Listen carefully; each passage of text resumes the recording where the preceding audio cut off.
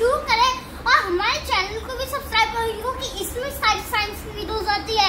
और मैं तो कहता हूँ कि आपको साइंस की पढ़ाई भी करनी चाहिए, क्योंकि उससे हमारा देश भी आगे बढ़ेगा और हमारे इसरो की एजेंसी भी आगे बढ़ेगी और हमारी वैल्यू भी बहुत बढ़ेगी। तो बहुत ही इम्पोर्टेंट पॉइंट है तो दोस्तों आप लोग तो समझ ही गए होंगे कि आज का टॉपिक क्या है चलो मैं भी बता देता हूँ वो है साइंस लेकिन दोस्तों, आप लोगों को पता ही नहीं होगा क्या साइंस में तो बहुत सारी चीज़ें हैं। उनमें से कौन सा टॉपिक चुना है मैंने? नहीं पता ना। चलो मैं बताता हूँ। वो है ब्लैक होल्स दोस्तों।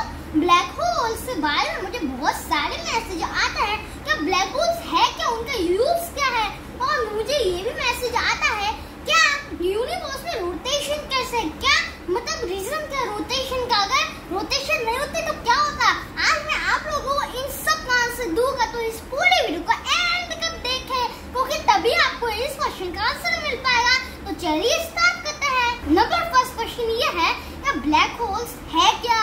दोस्तों आपने धरती पे होल तो देखा ही होगा जिसमें सारे छोटे छोटे पत्थर या फिर कोई कचरा वो सब घुस जाता है लेकिन दोस्तों ऐसा ही ब्लैक होल है बस ब्लैक होल बहुत ही बड़ा होता है और ब्लैक होल हमारी अर्थ को भी अंदर खींच लेता है दोस्तों यही फ़र्क है एक छोटे होल में और बड़े होल में तो दोस्तों, आपको नंबर फ़र्स्ट का तो आंसर मिल गया होगा। तो नंबर सेकंड पे चलता है। नंबर सेकंड ये है कि यूनिवर्स में रोटेशन कैसा है, दोस्तों, इसका आंसर है ब्लैक होल्स है।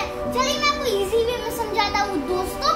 ये जो हमारी अर्थ और ये जुपिटर और ये सन घूम रहा है तो दोस्तों, मुझे ये भी क्वेश्चन आता है कि सन घूमता नहीं है। वो बस एक ही जगह रुका रहता है, लेकिन दोस्तों, ऐसा नहीं है।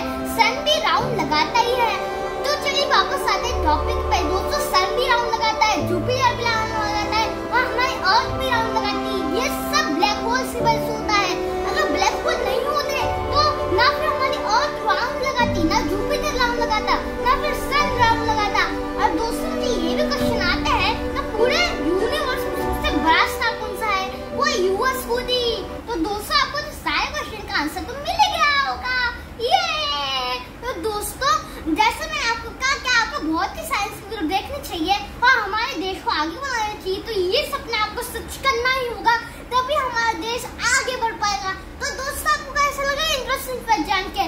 अगर अच्छा लगा हो तो प्लीज़ लाइक शेयर और सब्सक्राइब प्लीज़ फॉलो इंस्टाग्राम